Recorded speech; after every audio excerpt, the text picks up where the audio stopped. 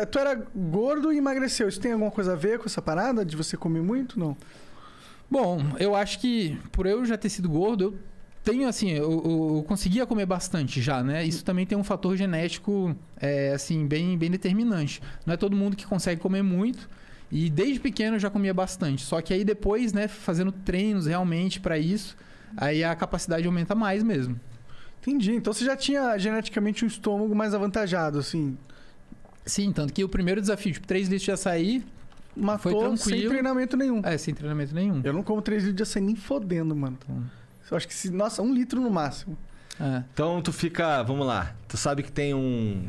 Tu veio pra São Paulo gravar. foi. É. Tu tá. e- Todos, todas as paradas que tu vai gravar. Quer dizer, eu, eu gosto de acreditar que nem todas as paradas que tu vai gravar tem a ver com comer pra caralho. Ou tem? Tem. Aí é foda, não é foda? É foda. Porque imagina, você.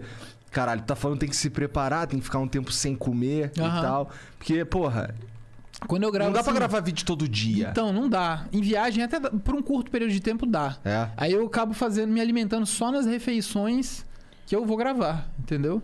E às vezes, se não é assim, ah, preciso de mais alguma outra coisa, algo de, sei lá, tô comendo só besteira que não tem muita proteína. Aí eu uso às vezes um shake de proteína, suplemento com multivitamínico, com algumas coisas pra tentar, assim, complementar um pouco do que pode faltar, entendeu?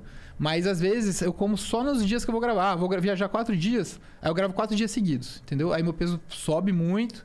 É, e eu só gravo. O, o maior problema disso também é que, como eu- durante os vídeos eu consigo aproveitar pouco a comida, porque tem que comer rápido e tal, chega num dia que, putz, gravei ontem, gravei anteontem, só queria sentar e comer uma comida normal. só pra aproveitar a comida. E às vezes nem isso tem. Por isso que eu acho que viagem é muito cansativo, fazer várias coisas seguidas também. Quanto que você chega a engordar numa semana, assim, de comendo pra caralho?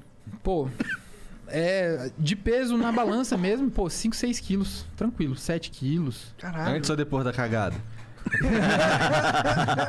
De qual, qual delas? Porque, assim, em um desafio eu já, eu chego a ganhar às vezes 8 quilos. Antes do desafio, meia hora depois. Porque, assim, se você juntar a comida mais o que eu bebo pra, em- Aham. é, durante o desafio, chega a dar 8 quilos. E tu fica estufadão assim. Cara, a galera, a galera racha, porque fica muito grande. Fica bizarro, porque